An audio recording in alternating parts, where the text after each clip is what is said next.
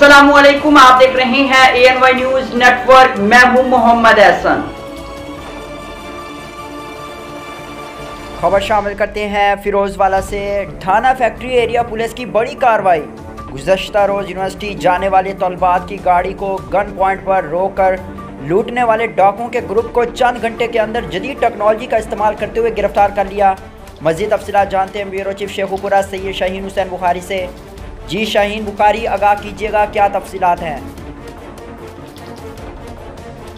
जी, बिल्कुल। गुजशत रोज कोट अब्दुल मालिक मोटरवे पुल के नीचे से निजी यूनिवर्सिटी की तलबात की गाड़ी जा रही थी कि डाकुओं ने असला के ज़ोर पर तलबात की गाड़ी को रोककर तलबात से नकदी और मोबाइल फ़ोन छीन कर फरार हो गए।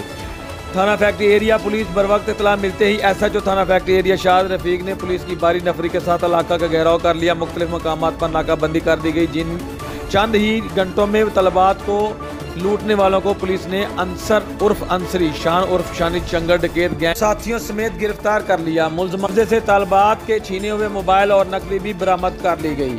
मुलजमान शेखुपुरा पुलिस को मुख्तलिफ़ मुकदमात में मकरूब थे।